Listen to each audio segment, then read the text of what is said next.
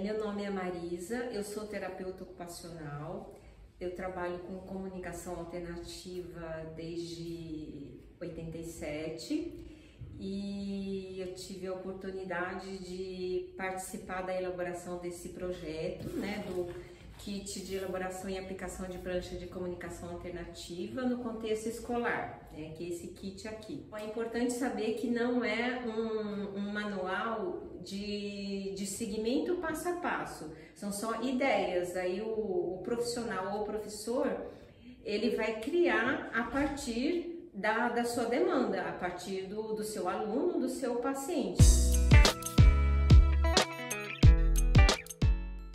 É, tamanho do símbolo, quantidade de símbolo na, na, na prancha, né? É, cor do fundo, cor do, da espessura de cada símbolo, de repente até assim a, a, a o tamanho da espessura também.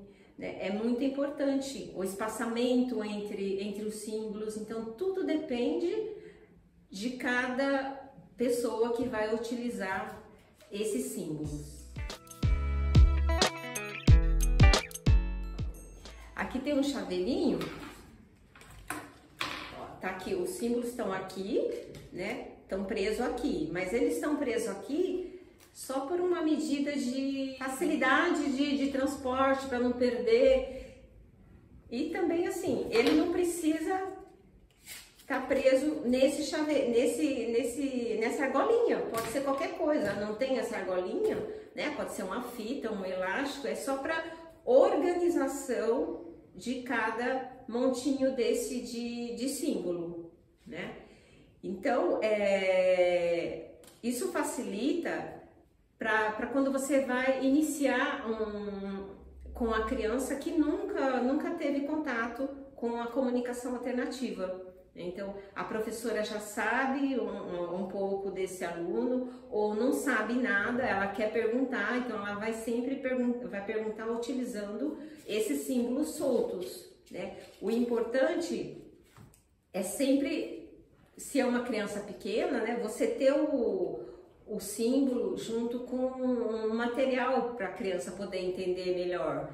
Porque muitas vezes este símbolo aqui, ele não é, ele pode não ser significativo para aquela criança, né? Por isso que é, a escolha do símbolo, aqui tem só um manual de ideias, a escolha do símbolo depende de cada é, aluno, de cada pessoa. Né? Então, é, se de repente a, esse livro aqui não trouxer nenhum significado para o paciente, para o aluno, ele pode buscar outra imagem de livro ou dentro mesmo do, do PCS, né? A maioria desses símbolos aqui é do PCS, né? Picture Communication Symbols, mas às vezes a gente tem que utilizar uma outra imagem, né? Às vezes a gente tem que utilizar a criança com livro ou um livro que a criança tem em casa, né?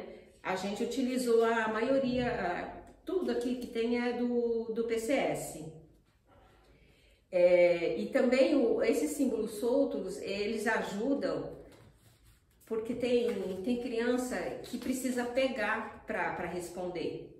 Né? Então, às vezes, a criança fica querendo, se tiver numa prancha né, de comunicação, a criança fica querendo pegar. Então, estando o símbolo solto, a criança pega e responde que esse símbolo solto. A gente pode colocar esses símbolos no, nos, nos locais, nas salas. Então, por exemplo, sala de é, informática, vai lá, tá na porta, vai estar tá o, o, símbolo da sala de informática. Né? A professora, para ajudar o aluno, ela pode colocar onde pendura as mochilas. Aí pode colocar lá um símbolo de mochila, porque aí Todo mundo sabe que lá que fica a mochila, inclusive a pessoa que vai usar é, esses símbolos. Né? Então, tudo, a, o móvel, na mesa pode ter um símbolo de mesa, na cadeira, na lousa, na porta de saída. Né? Então, o símbolo solto, ele tem uma, utilizar, uma atividade bem ampla.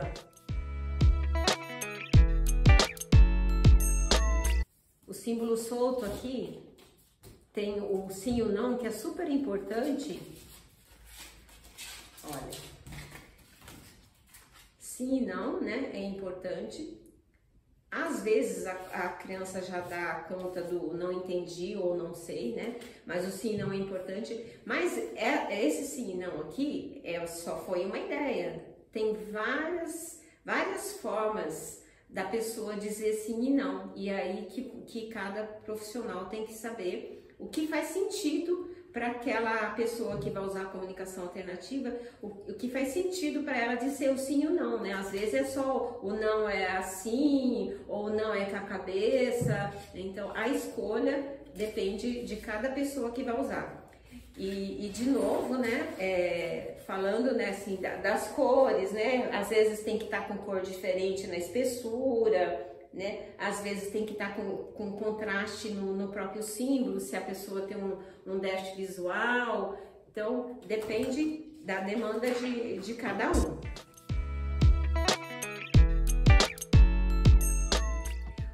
Os símbolos soltos, é, quando é uma, uma pessoa que fica numa cadeira de roda, o símbolo solto pode ficar ali junto com ele na mesa. Mas se é uma pessoa que tem locomoção, é, não vai ficar na mesa.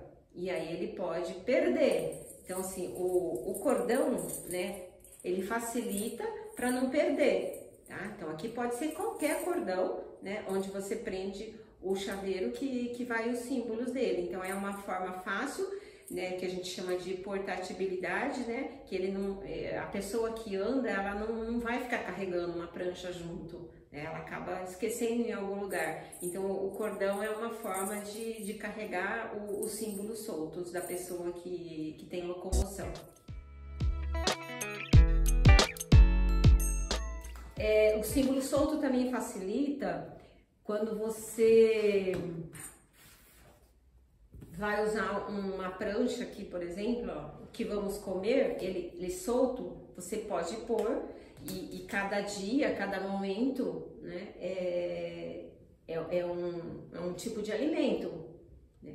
Então, aqui o que vamos comer hoje poderia ser o que vamos é, fazer agora, qual que vai ser a rotina daquele dia, é, o que você conta do final de semana, o que, que você fez no final de semana, é, quem foi na sua casa, é, tudo vai depender do, do, do, contexto. Aí o símbolo estando solto, né, não precisa fazer um monte de, de prancha desse tamanho. Esse tamanho aqui é do A4, né, tamanho do, do sulfite, né. Esse material aqui da, da Civian é super bacana porque ele tem um imã, então ele não, não cai, né é super sofisticado, né? Mas quem não tem acesso a isso, tem só o kit, depois quer fazer outro, né? Pode ser velcro, né?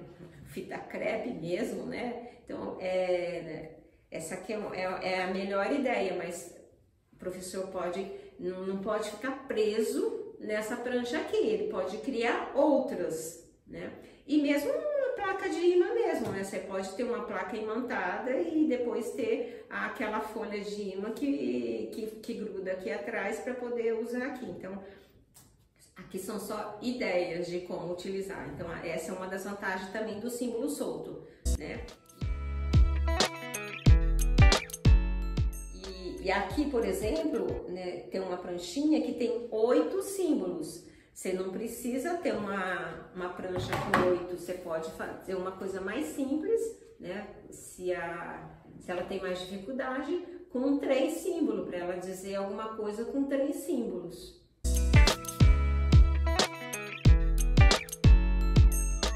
O símbolo solto, é, ele pode também ser utilizado dentro de um contexto, dentro de uma atividade completa e de rotina, né, que tem que fazer todos os dias. Então, na escola, antes do lanche, a criança tem que lavar as mãos. Né? Então, esses símbolos aqui, eles podem estar colado lá na, na, no banheiro, né, lá perto da pia, para a criança ver o que, que ela tem que fazer. Né? Então, tem abrir a torneira, passar o sabonete, enxaguar e enxugar as mãos, fechar a torneira e enxugar as mãos. Então, isso daqui pode estar ali grudado na parede do banheiro próximo dali onde a criança lava a mão para ela não esquecer, porque senão ela pode, assim, abre a torneira, mas ela não pega o sabonete, entendeu? Ou esquece a torneira aberta. E esse tipo de, de atividade aqui de contexto pode ser para qualquer outro contexto.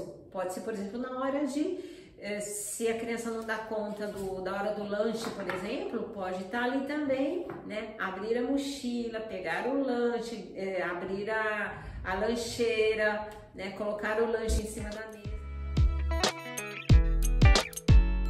Algumas ideias que tem aqui no, no kit, né? De atividade para o pro professor, né? Aqui é simples, né? Acho que cada professor já, já faz isso, né? Mas a gente são jogos de, de associação, né, de achar o igual. Aqui tá igual com igual, mas pode ir progredindo, né? Pode ser um, uma figura que a criança conheça, uma foto, com um símbolo já, para já, já, já introduzindo o símbolo. Ou se uma, já é uma, uma, uma criança que está começando a escrever, pode ser a figura ou o símbolo com já com uma palavra. Aqui também bem simples, né? Se quer perguntar para criança alguns conceitos, né? E aí aqui já vem o que é, né? Se isso é um cachorro, sim ou não, né? Aqui já tem a resposta para cada um, né? Você pergunta e já já tem a resposta embaixo de sim ou não. É óbvio que se a criança tem alguma forma de expressão para o sim ou não, com a cabeça, né, sim ou não, ou faz com a mão, ou se ela emite algum som, não precisa exigir que a criança aponte aqui se ela já tem uma forma de expressão. Tá? Aqui é uma, a gente colocou aqui porque para o paciente mais que tem mais dificuldade, que não tem nenhuma forma de expressão, mas óbvio que tem que usar a expressão que ele já tem. ideia bacana também, né? Que é uma lista de atividades, né? Para ele ticar o que ele já fez, né? Então, ah, já lavou as mãos, então ele tica aqui que ele já fez.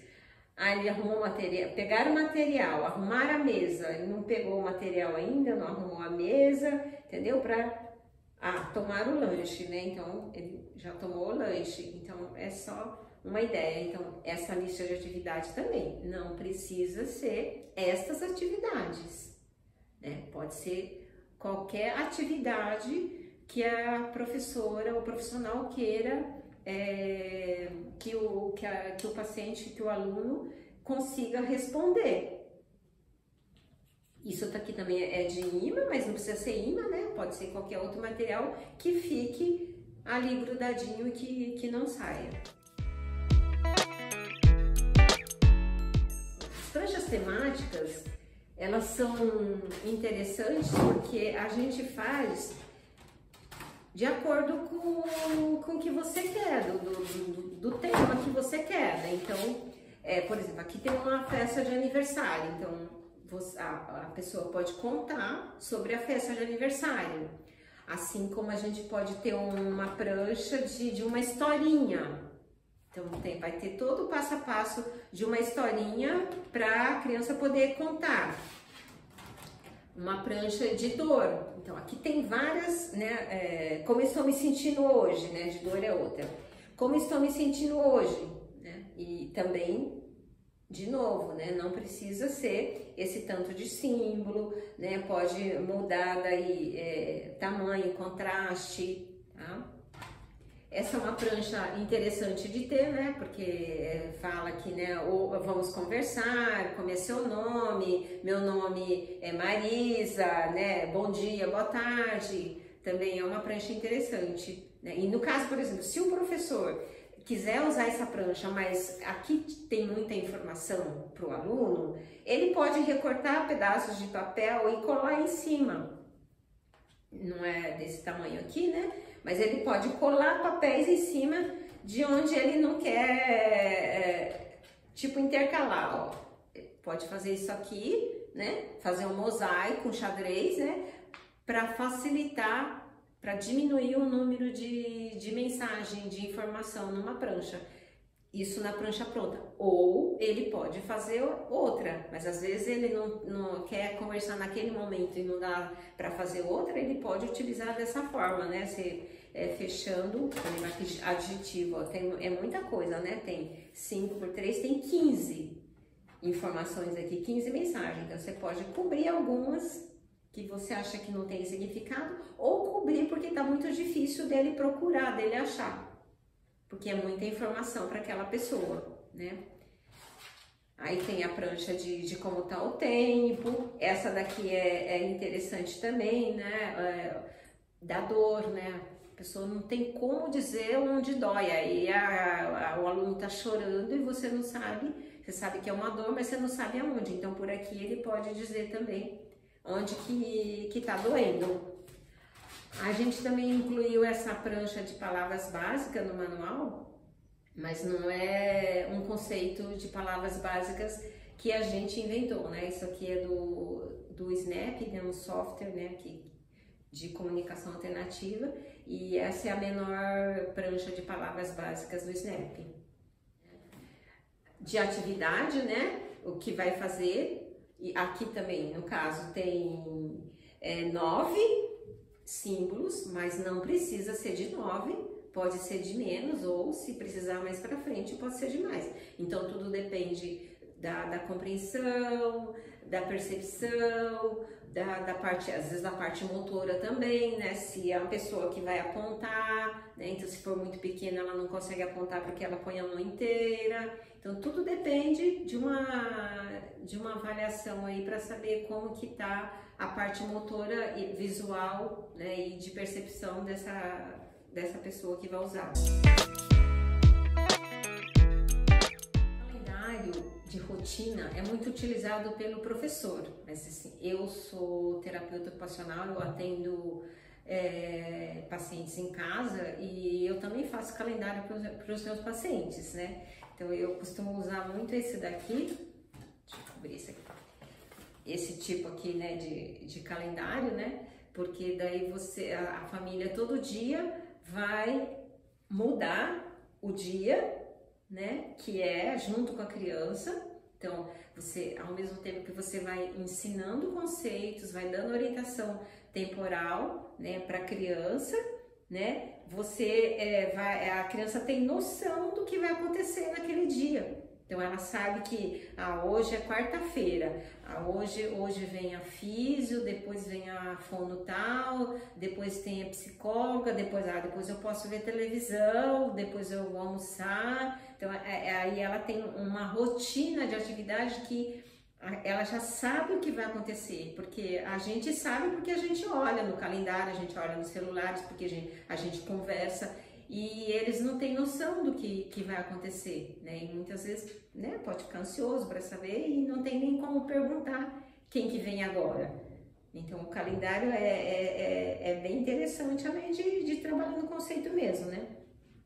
E eu já tive é, paciente que, que eu comecei o calendário usando foto dos profissionais, foto concreta do profissional. Aí depois que a criança foi evoluindo, eu já peguei uma imagem, né, um, um desenho do, do PCS parecido com aquele profissional para trocar aquelas fotos. Hoje já não tenho mais nem a foto e nem a imagem do PCS. Hoje tem a palavra, o nome de cada profissional e ela sabe dizer um nome, né, de, escolher o nome de cada profissional que vem na, naquele dia. Então tem, né, algumas ideias de, né, essa aqui é da semana, né, aqui é, é do mês, é isso na sala de aula sempre tem, né, um calendário do mês um calendário do dia ou um calendário da semana.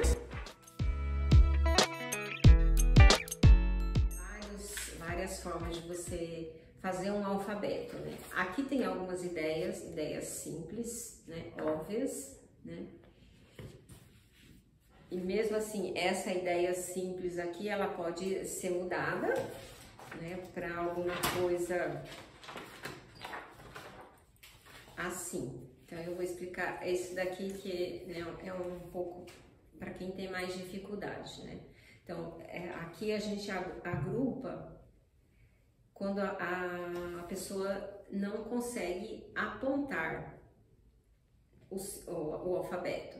Então você vai perguntando e quando você pergunta, né, e você vai, você monta a palavra aqui nesse espaço branco. Então você pergunta aonde que está a letra? Tá no vermelho, tá no preto, no azul ou no verde? Aí quando a, a pessoa fala que tá no verde, Aí você vai perguntando se é o S, se é o T, se é o V, o W. Aí quando a criança responder, ah, é o V. Aí você põe a, letra V ou escreve, né? Com lápis, escreve a letra que, que ele quer, para você ir montando. Ah, qual é a próxima letra? Tá no vermelho? Sim, tá no vermelho, né? Então aí você vai montando a palavra aqui do alfabeto.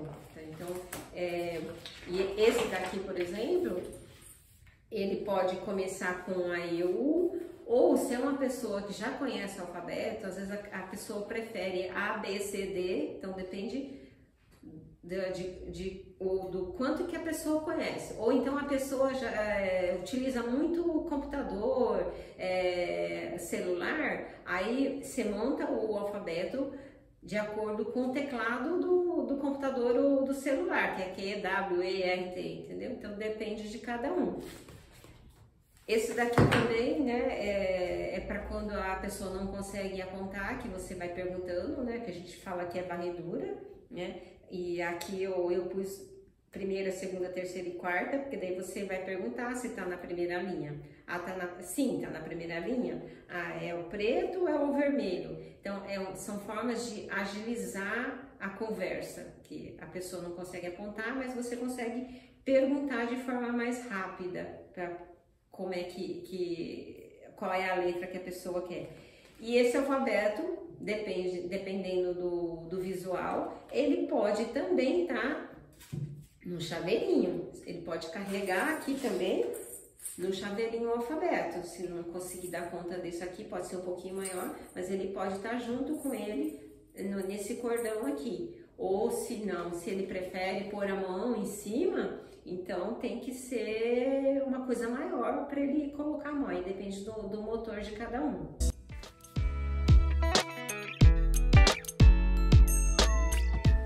Eu espero que essas informações sejam úteis para vocês, né?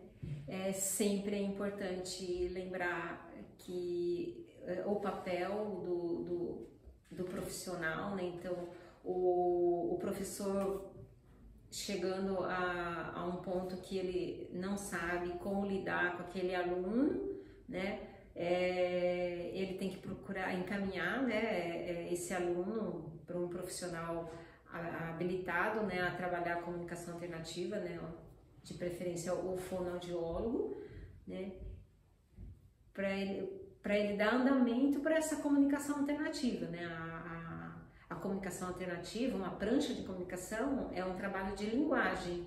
Né, então tem que procurar o profissional. Então assim, esse kit ele é para iniciar é para quem não tem nenhum recurso seu aluno, o seu paciente, você não tem como iniciar, como começar a interagir com, com o paciente ou com o aluno. Então, é, esse kit é para iniciar, ele não pode ficar limitado só uma prancha de temática, só uma prancha de contexto. Né? Esse aluno tem que falar mais que isso.